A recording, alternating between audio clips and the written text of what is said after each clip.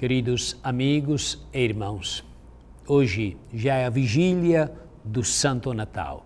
Já estamos respirando o ar próprio desta experiência única de um Deus que vem ao nosso encontro. São Paulo, escrevendo a Tito, começa com esta palavra: manifestou-se. É uma palavra programática, escolhida pela Igreja para exprimir a essência do Natal. Antes, os homens tinham falado e criado imagens humanas de Deus, das mais variadas formas. O próprio Deus falara de diversos modos aos homens. Agora, porém, aconteceu algo mais. Ele manifestou-se, mostrou-se, saiu da luz inacessível em que habita. Ele, em pessoa, veio para o meio de nós. Na igreja antiga, esta era a grande alegria do Natal. Deus manifestou-se. Já não é apenas uma ideia, nem algo que se deve intuir a partir das palavras. Ele manifestou-se. Mas agora perguntamos-nos: como se manifestou? Ele verdadeiramente quem é? A este respeito, diz a liturgia da missa da aurora do Natal, manifestaram-se a bondade de Deus e o seu amor pelos homens. Eis a certeza nova e consoladora que nos é dada no Natal.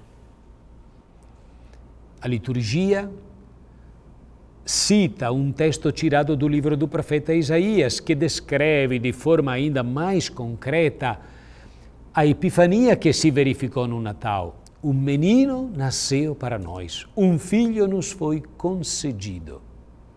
Tem o poder sobre os ombros e dão-lhe o seguinte nome: Conselheiro Admirável, Deus valoroso, Pai para sempre, Príncipe da Paz.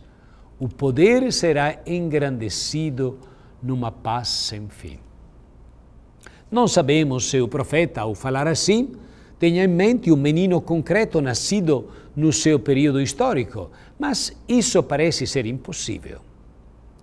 Trata-se do único texto no Antigo Testamento onde de um menino, de um ser humano, se diz o seu nome será Deus valoroso, Pai para sempre.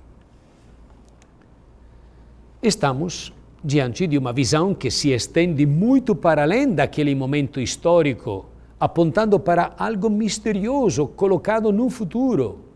Um menino, em toda a sua fragilidade, é Deus valoroso. Um menino, em toda a sua indigência e dependência, é Pai para sempre. É isto numa paz sem fim. Antes, o profeta falara de uma espécie de grande luz. E a propósito da paz é, é, que vinha dele, afirmara que o bastão do opressor, o cajado ruidoso da guerra, toda a veste manchada de sangue seriam lançados ao fogo. Meus irmãos, Deus manifestou-se como um menino. É precisamente assim que ele se contrapõe a toda a violência e traz uma mensagem de paz. Neste tempo em que o mundo está continuamente ameaçado pela violência em tantos lugares e de muitos modos, em que não cessam de reaparecer bastões de opressor e vestes manchadas de sangue, nós clamamos ao Senhor, vós, ó oh Deus forte, manifestaste-vos como menino e mostraste-vos a nós como aquele que nos ama e por meio de quem o amor deve triunfar.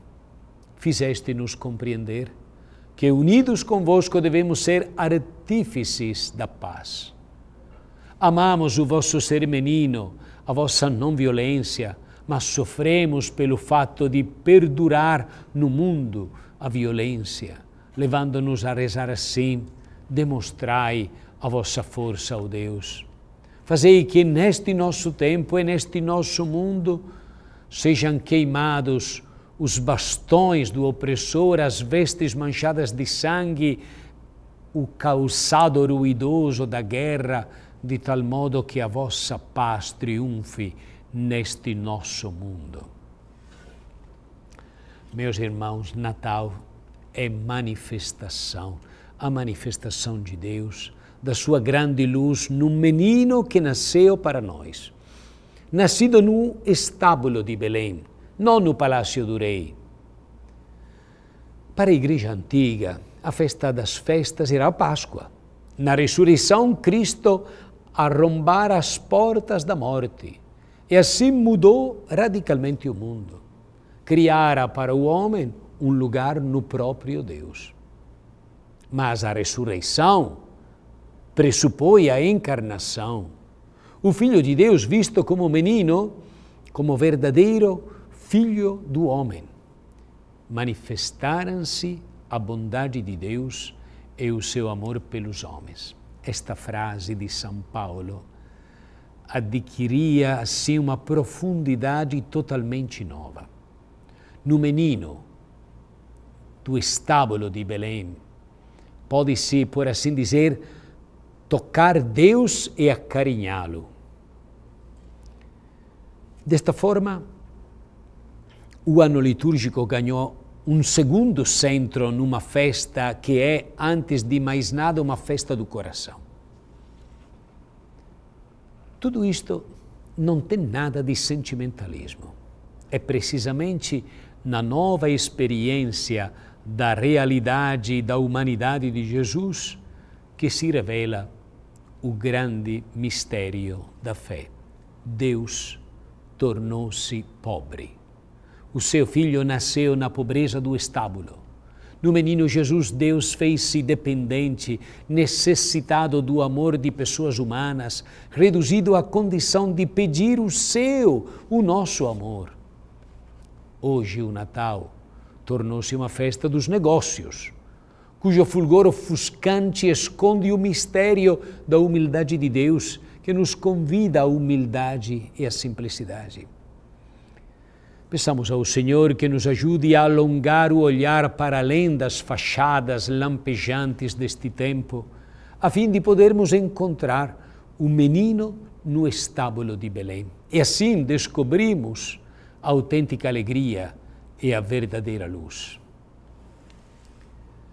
Se quisermos encontrar Deus manifestado como menino, então devemos descer do cavalo da nossa razão, das nossas autossuficiências, Devemos depor as nossas falsas certezas, a nossa soberba intelectual, que nos impede de perceber a proximidade de Deus.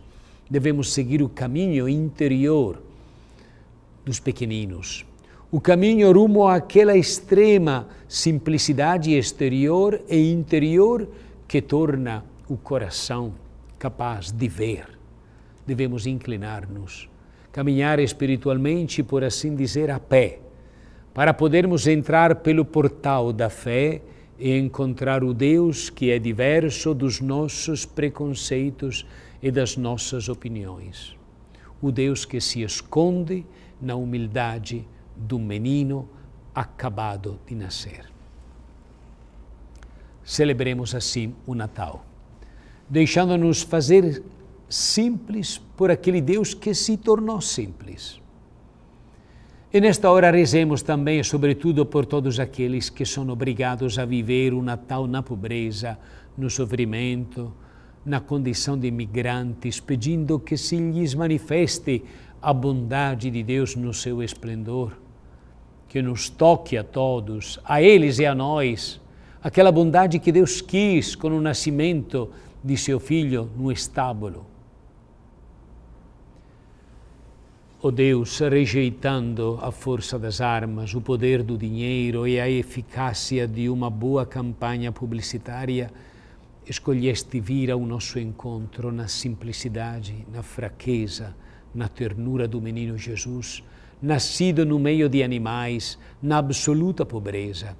Assim me encontraste na nossa história para nos manifestar e oferecer a vossa salvação que nós, imensamente agradecidos, saibamos, como os pastores, correr ao encontro dos irmãos, especialmente dos mais pobres e excluídos, para anunciar-lhes o vosso incrível amor.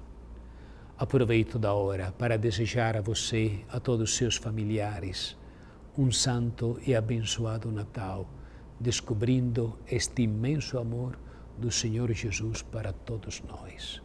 Em nome do Pai, e do Filho, e do Espírito Santo. Amém.